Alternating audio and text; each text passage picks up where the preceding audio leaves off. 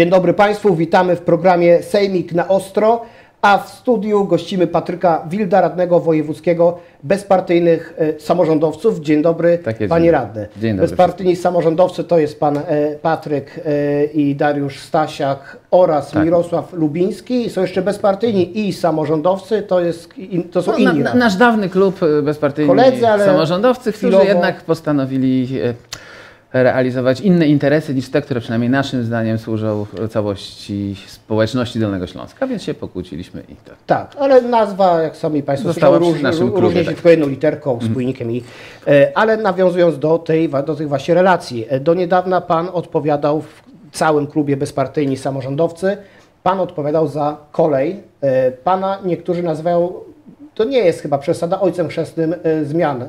No, unowocześniania dolnośląskiej kolei. O, może tak, w ten sposób. Bardzo mi miło to słyszeć. I, Ale zaraz też panu nie będę, przestanie właśnie być miło, bo ja nie skończyłem. Pan, ja, to, tak, pan, pana tak wiele osób ocenia y, i tutaj trudno polemizować, natomiast nie oceniają tak pana, pana właśnie byli koledzy y, z bezpartyjnych i samorządowców. Oni twierdzą, znaczy twierdzą, no zapominają niejako o pana e, wpływie na rozwój kolei, kolei dolnośląskich.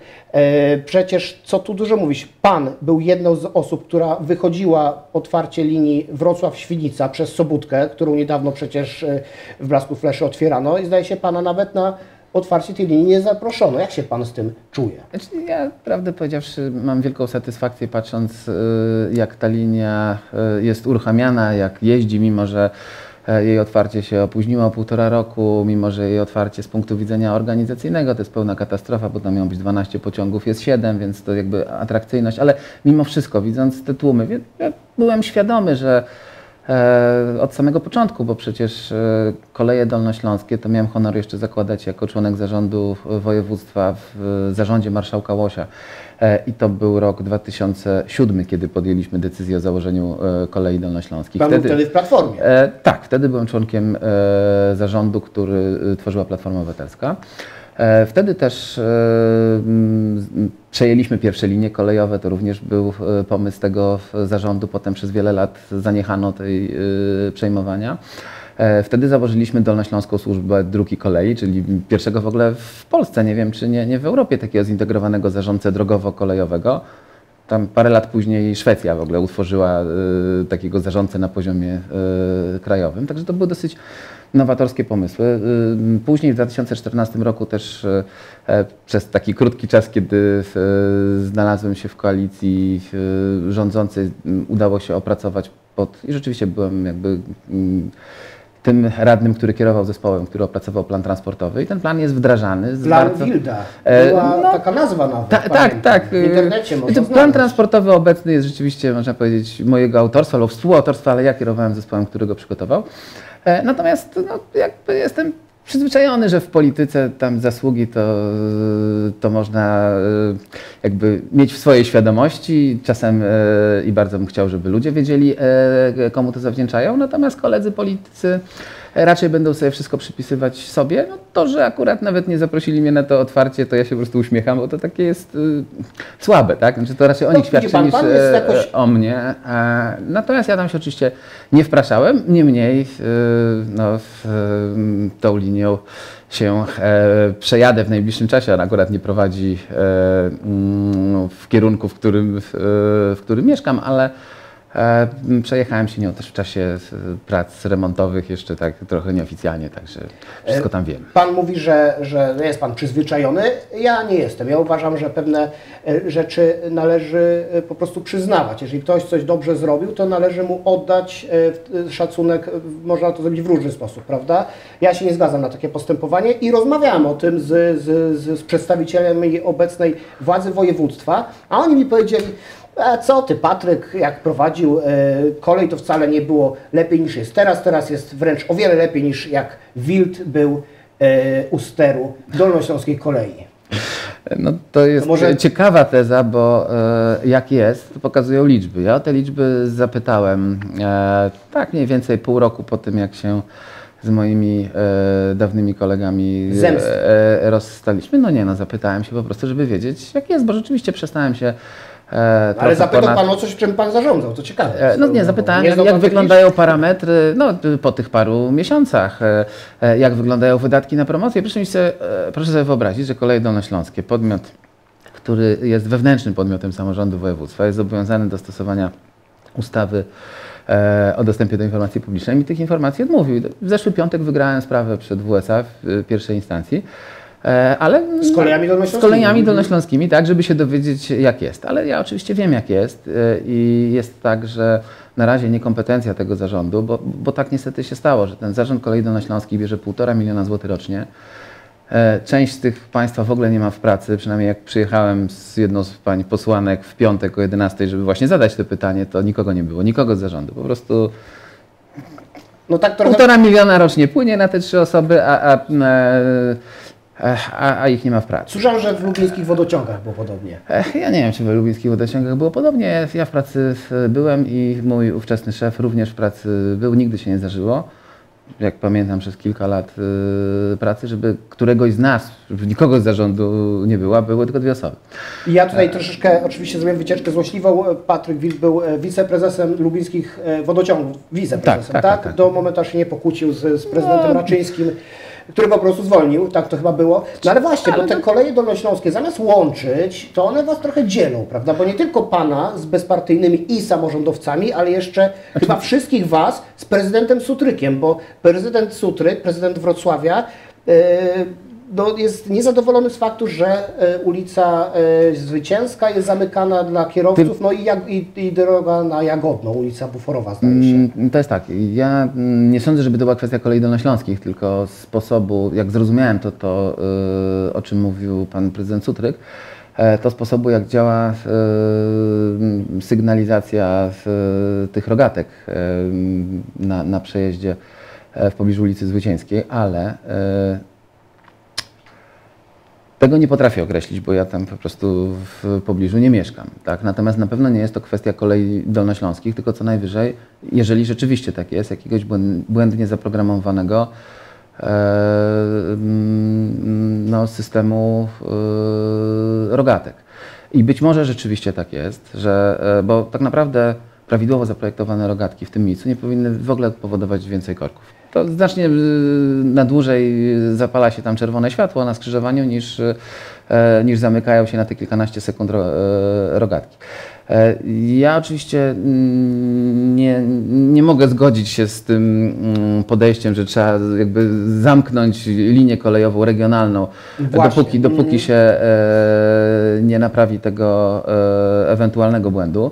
E, Natomiast no, to nie jest kwestia kolei dolnośląskich, to jest jakby kwestia, chociaż oczywiście rozumiem e, prezydenta miasta, który widzi jakąś tam dodatkową komplikację, no to jest tym faktem e, zdenerwowany, to może mało powiedziane, bo tam i tak zawsze były korki. A, Właśnie, e, bo ja do tego chcę zmierzyć, Panie Patryku. Pan był wiceprezesem MPK, odpowiedzialnym za inwestycje. Wtedy, kiedy Pan był e, we władzach spółki, jeśli mnie pamięć nie myli, to był na tapecie e, temat tramwaju na Jagodno. Wtedy się pojawił chyba, prawda? Mm, Tak, wtedy rzeczywiście y, miasto 2007 rozstrzygało. rok? To y, był? Kiedy Ja byłem w pan był? 2009. Dziewiąty. E, wtedy był e, projekt Tramwaju Plus, który w pierwszej wersji również zawierał. E, oczywiście to miała być inwestycja robiona, e, robiona później przez miasto, ale rzeczywiście tramwaj na Jagodno był elementem tego, e, tego programu. No i czemu nie może powstać do tej pory? No bo to jest jakby niezrozumiałe dla mnie, dla większości pewnie mieszkańców też. Ciekawe, czy Pan to rozumie jako no, Nie- ekspert z tej, nie, w tej dziedzinie. Niestety ja tego też nie rozumiem. Bo tam dlatego... są środki unijne, tak? Na tramwaj, na Jagodno Tak, tam zrobiono środki- rozjazd, który miał prowadzić tak. wzdłuż ulicy Buforowej i Jest e, rezerwa. jest rezerwa terenu. E, Przy czym pojawiły się problemy. e, Z tego co słyszałem po stronie w PKP PLK, chociaż tak prawdę mówiąc miasto nie miało wtedy pieniędzy, w związku z czym mam wrażenie, że wtedy się bardzo ucieszyło, że, że, że są problemy, e, związane ze skrzyżowaniem linii tramwajowej z linią mm, kolejową. Ja nie sądzę, żeby tego problemu nie dało się rozwiązać, bo są nawet e, pochodzące jeszcze z lat e, 60. e, rozporządzenia, w jaki sposób tego typu e, skrzyżowanie ma wyglądać. Co więcej, we Wrocławiu jest takie skrzyżowanie, nie linii kolejowej, ale bocznicy w ulicy Krakowskiej. No już nie czynny, i to E, prawda, no, ale nie ja czynny, pamiętam, ale- ale- z 15 tak. lat temu jeszcze pociąg tamtędy jeździł. W Toruniu zda, zdaje się też się Tak krzyżuje jest, tramwaj. także, także są tak mo- możliwości. Gdyby była bardzo silna determinacja, wydaje mi się, że można byłoby je rozwiązać. Nie neguję, że docelowo oczywiście należy y, dążyć do dwupoziomowych skrzyżowań dróg i, linii tramwajowych.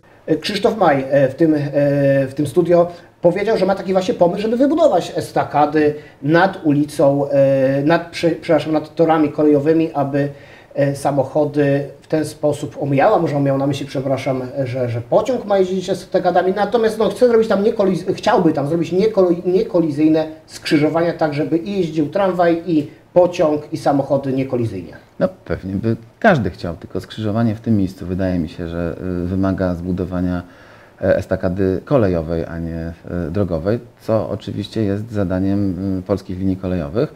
Z tego co słyszałem, to zadanie ma kosztować y, około y, 800 czy miliarda nawet złotych. No to Więc się, że e, dużo. no to jest dość dużo pieniędzy. e, W związku z tym ja nie mam takiej e, pewności, że ta e, linia kolejowa to nie jest jakaś linia magistralna. Tam nawet przy uruchomieniu e, pociągów w kierunku Niemczy i, i dalej Piławy, e, to ruch będzie na poziomie może dwóch par pociągów na godzinę, to największy jaki może być, czyli raz na 15 minut będzie tam jechał jakiś, e, jakiś pociąg i to raczej krótki szynobus, który będzie na chwilę tylko e, zamykał rogatki, więc e, no, nie jestem pewien, czy to jest taka najpotrzebniejsza e, potrzebniejsza inwestycja e, w tej chwili, e, a kosztująca no niewątpliwie gigantyczne pieniądze, więc jak pan Krzysztof ma, ma te pieniądze, e, no to ekstra, ale jak ich nie ma, to ja bym raczej szukał e, rozwiązań, które e, pozwolą e, uruchomić linię tramwajową, a e, niekoniecznie warunkując to e, wydatkiem miliarda złotych, bo nawet kolej, wydaje mi się, że tych pieniędzy nie ma, a gdyby nawet miała, to ja jestem w stanie podać, nie wiem, pewnie ze 20 ważniejszych inwestycji, również i dla Wrocławia i najbliższych okolic, e, niż akurat wynoszenie na estakadę tej, mimo wszystko marginalnej linii, która marginalna e, w zakresie tego ruchu regionalnego pozostanie, ona tak naprawdę tylko regionalny ruch będzie prowadziła i raz na może 3-4 dni jakiś pociąg towarowy w nocy tam z kamieniołomów. Jeżeli Krzysztof Maj będzie kandydował na prezydenta Wrocławia, to czy zagłosuje Pan na niego? A ja nie jestem mieszkańcem A, pan- no Wrocławia. tak, pan nie jest mieszkańcem Wrocławia, tak, przepraszam. jak y, No, Krzysztofa... ale nie jest Pan mieszkańcem Wałbrzycha, tylko Srebrnej Góry, jakoś na prezydenta Ale- Wałbrzycha. No, ale na siebie nie mogłem wtedy głosować. No, jak no. kandydowałem oczywiście i duża część mieszkańców, 20 mm, parę procent na mnie e, rzeczywiście zagłosowało. Zresztą jestem do dzisiaj bardzo, bardzo wdzięczny. E, I ten Wałbrzych też jest jakoś tam w, moim sercu, bo jest to bardzo fajne miasto z wciąż jeszcze wielkim potencjałem Tak, do, do, do e, rozwoju. E, Natomiast e, no, jeśli chodzi o, o Krzysztofa, to muszę powiedzieć, że e, jego działalność w zarządzie województwa mnie dziwi, no bo ostatnio na przykład napad na słowo napad jest oczywiście pewnym przerysowaniem, ale na właściciela statku, który wypróżniał e, zbiornik balastowy.